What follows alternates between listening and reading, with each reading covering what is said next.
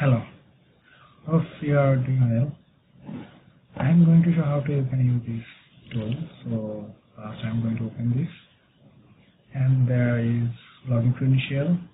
You can enter as admin or input admin and password 123. You can change it further. So click enter and open the data entry form. So there is required input field, name, base name, etc. So as a test basis, I am going to input something like name,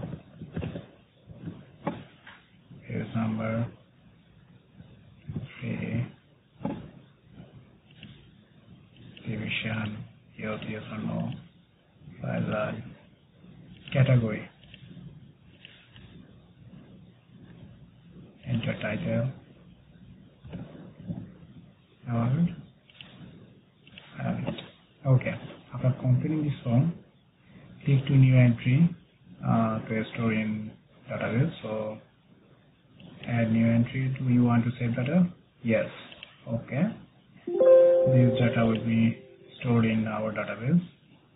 And there is also update delete and clear. But update and delete button which is not enabled so if you want to update or delete then click to double click here. There is the list box which is our database and uh, there is search criteria and there is you can see uh, all of items criteria for searching anything like um, division, etc. So uh, there is the different is division and division category. If you want to select division and input something like division master. Master okay. Then click search and master class uh, will be auto filtered and showing in our list box. And if I want to search anything like division and category then click here. And there is division and category. List box will be open. There is list box master class uh, and journeyman okay there is journeyman and master class. If I click journeyman then only journeyman is open? If I click master class then master class will be open. And master class is uh, it is single. Okay single featured standard. Okay. Then if you want to uh, uh, update anything like this uh, okay update.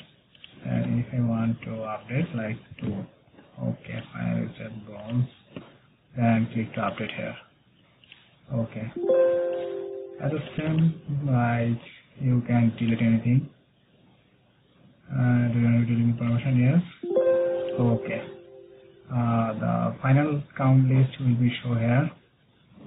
And after completing or search anything you can download uh, this uh, existing data. Uh, I am going to click and download this is uh, this listing data. So click list and check it download successfully. Okay. Then uh, this database is download successfully in our local PC where is the main uh, sheet? Okay. CVN form is open this and there is the data. Okay and also open all records exist. Open all records there is a open all records then data entry sheet which is database and support sheet. From the support sheet you can manage admin user id password and uh, division category youth category youth uh, which is drop down list and category drop down list and award drop down list.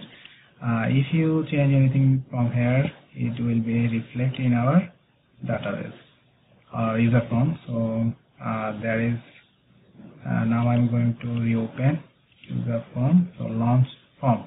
Okay launch form and form will be reopen and there is exit and clear. Clear like if you input anything then use clear for clearing the imported field. And finally uh, close the form if you can use exit exit do you want to leave okay if I yes then yes and form will be closed. Thank you.